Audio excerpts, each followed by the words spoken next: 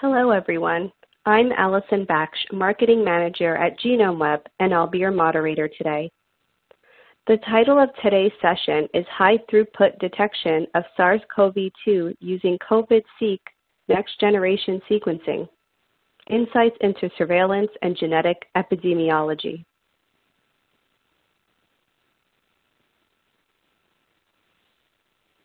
Our speaker today is Dr. Sridhar Sivasubbu, who is the Senior Principal Scientist at CSIR Institute of Genomics and Integrative Biology. This EK study will start with a brief presentation and will follow up with a Q&A session with our panelists. A special thanks to our sponsor, Illumina, for making this presentation possible. Dr. Sivasubbu, please go ahead. Thank you, Allison.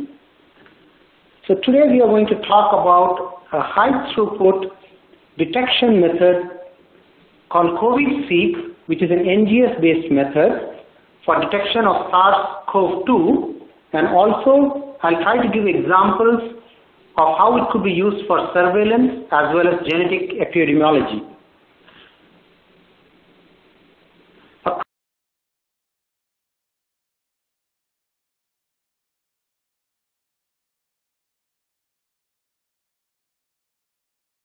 It's a well-known fact that the causative organism for the COVID-19 pandemic is the SARS-CoV-2.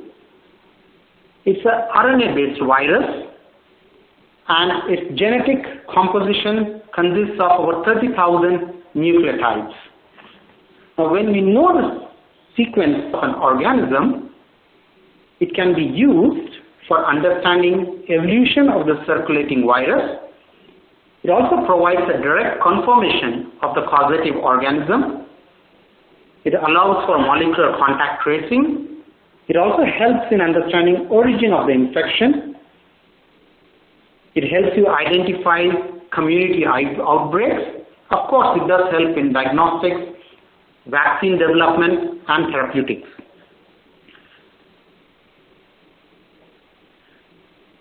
So one of the things that we did way back in June was to set up a platform wherein we wanted to establish a high throughput detection method and also capture the genetic epidemiology of SARS-CoV-2 using next generation sequencing technology. It was around the same time that Illumina announced COVID-seq, which was the first NGS test that was approved by US FDA under the emergency use authorization. So this provides us an opportunity for undertaking the first clinical validation of COVID-seq, which was done at CSIR IGIB in Delhi, India. Concept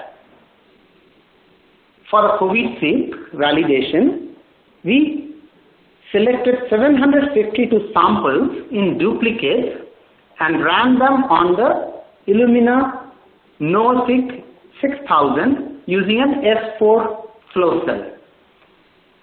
So the basis of selection of the 752 samples was to ensure that we had captured the diversity based on gold standard which is the RT-PCR and we had selected samples that were positive on RT-PCR, negatives on RT-PCR, also samples that were inconclusive based on the RT-PCR results and also samples that only had the E gene positive, which according to the Indian regulatory authorities was called as pan-serbuco positive.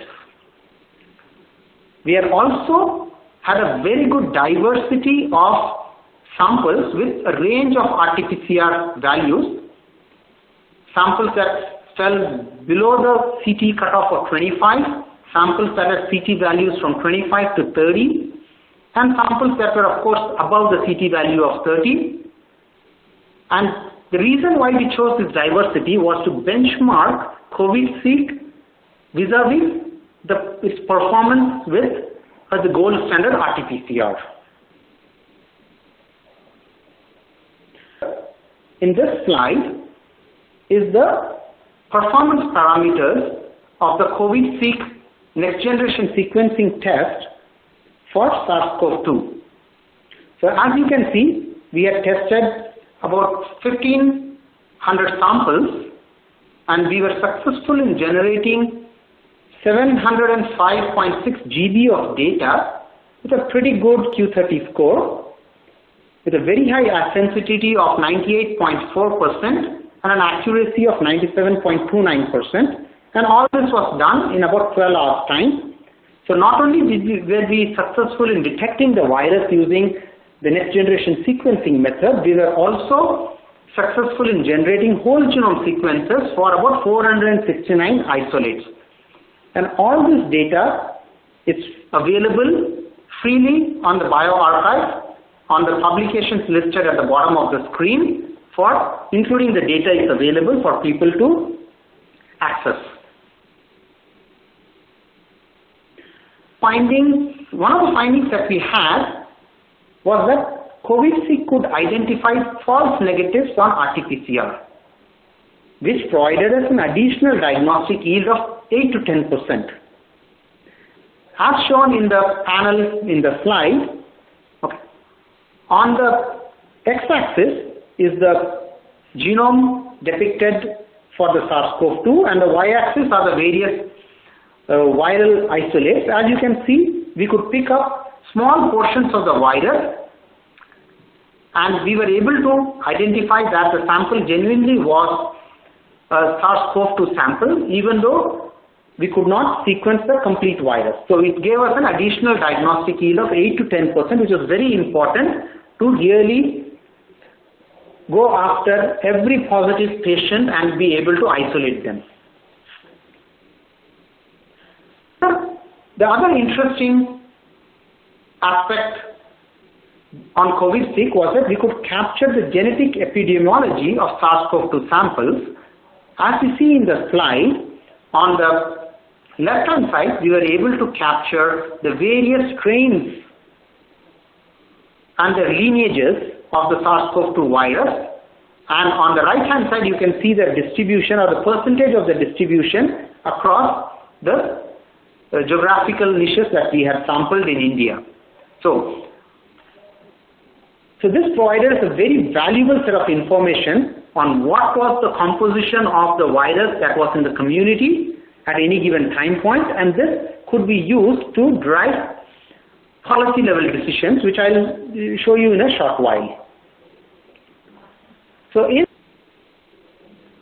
the COVID-seq assay could detect the virus and also provide information on genetic epidemiology it has a very nice scalable configuration. You could do 300 samples at a time or 1500 samples or up to 3000 samples at any given time point. It has better sensitivity compared to RT-PCR. It had an 8 to 10 percent additional diagnostic yield compared to RT-PCR. More importantly, about 50 percent of the samples that were pan-Serboco or one, only one, positive on one of the genes, which was the E gene, could be classified as COVID positive. And we could also derive additional information on the epidemiology of the infection.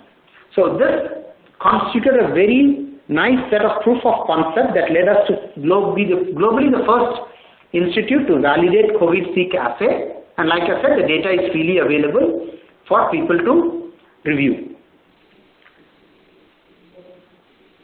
on, moving on ahead, I would like to highlight one particular case study from a state in India called Kerala. If you see the map of India, Kerala lies in the extreme southernmost part of India and usually a state which is flush with a lot of inflow of tourists. Also a lot of people from the state of Kerala uh, go back and forth for their occupation or their study to the Middle East or to the Southeast Asia. So a state which gets a lot of international travel and a state which has a very good track record of responding to epidemics and being has a very good public health system. So it was an ideal scenario for us to test the efficacy of COVID-seq in the state of Kerala.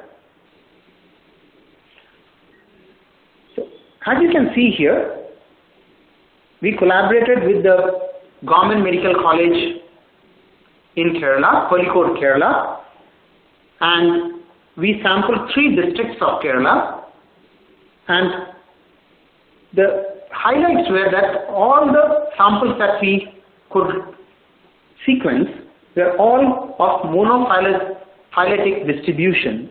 That means it was from a single clade of virus. That was surprising given the amount of international travel that happens to this state. It was surprising to see that it showed a monophyletic distribution. Second, the viruses that we sequenced had variants associated with very high infectivity. And multiple studies had shown that these particular variants were associated with high infectivity and this was also used to drive policy decisions which I will allude to in the next few slides. Another important finding that was derived from the study was shown in this slide. As you can see on the diagram on the right side, they are marked by three broad green arrows are the three introductions of the virus into the state of Kerala and each of them could be very distinctly identified having originated from a neighboring state in India. And we could also estimate the rough date of introduction into the state of Kerala. So, this summarizes to, to state that there were limited introductions into the state of Kerala followed by local spread.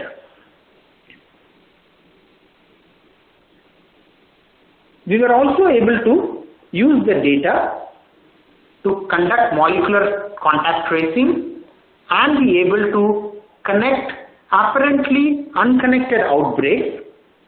This was a very important finding and a very important application of COVID-SEEK for controlling epidemics.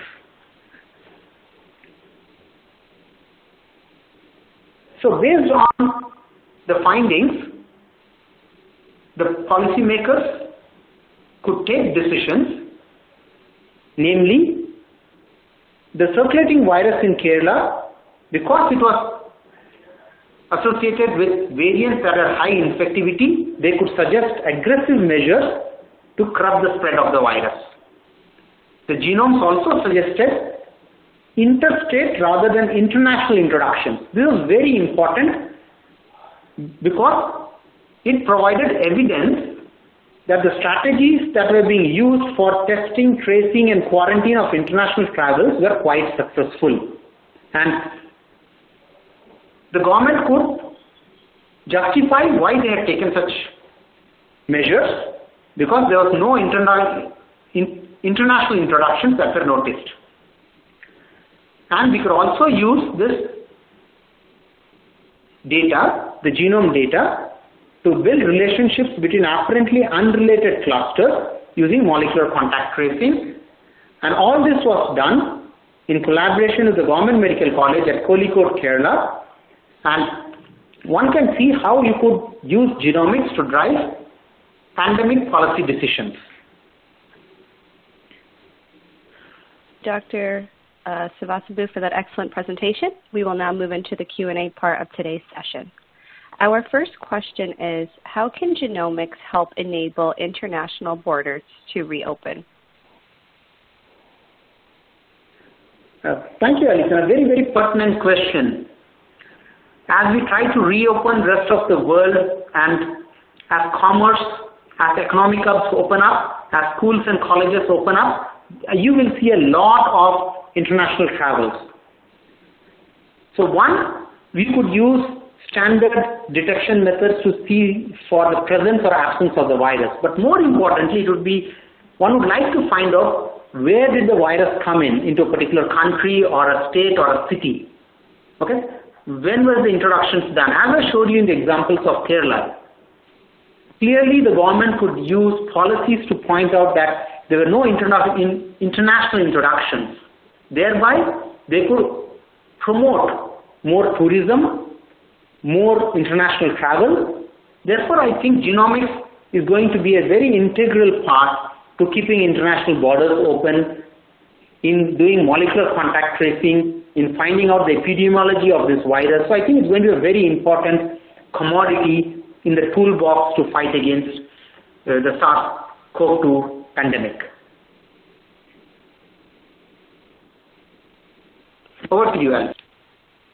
Great, thank you.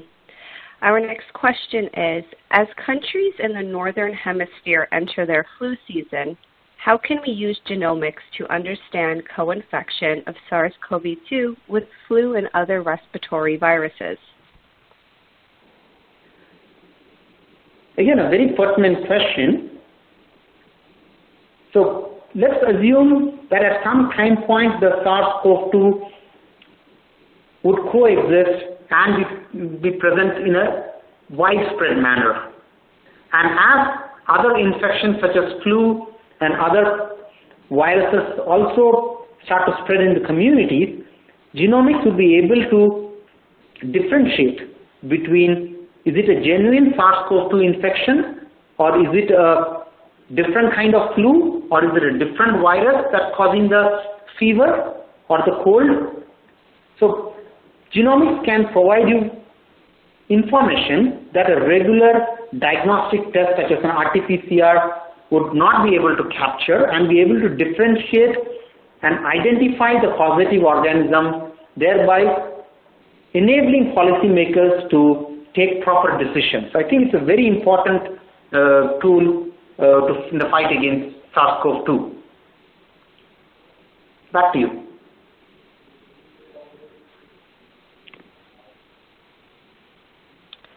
There are growing concerns on COVID-19 reinfection, especially on asymptomatic reinfection among healthcare workers. What are your suggestions to the scientific and public health community on this topic based on the insights gained from your team's research?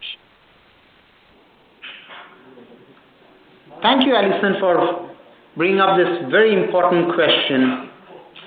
So we and others around the world have shown that reinfection does happen in SARS-CoV-2 infections.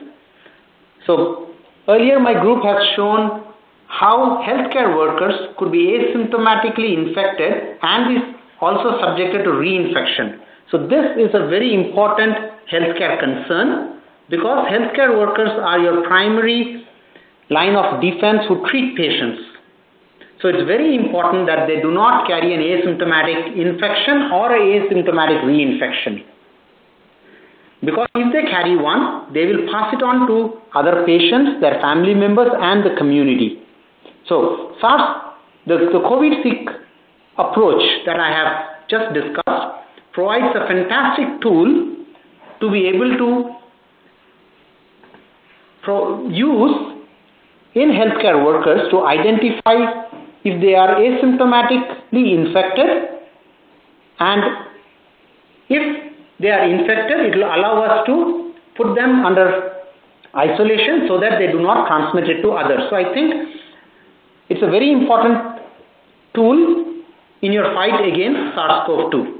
Thank you.